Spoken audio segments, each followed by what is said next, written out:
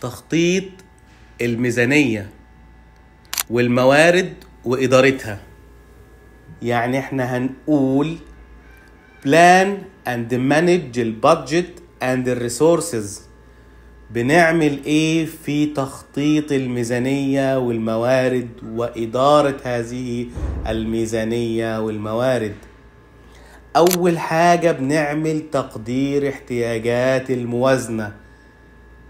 بناء على نطاق المشروع والدروس المستفادة من المشاريع السابقة. يعني بنعمل estimate budgetary needs based on the scope of the project and a lesson learned from past projects. تقدير احتياجات الميزانية بناء على نطاق المشروع. والدروس المستفادة من المشاريع السابقة. وبنعمل إيه كمان؟ بنعمل anticipate future budget challenges.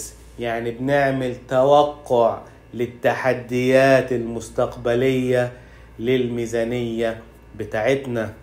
وكمان بنعمل monitor البادجت variables and work with the governance process to adjust as necessary. يعني بنعمل متابعة لبيانات الموازنة والعمل مع عملية ال governance اللي هي الحوكمة عشان نعدل حسب الحاجة. وأخيرا بنعمل plan and ال manage لل resources يعني بنخطط الموارد وندير المصادر.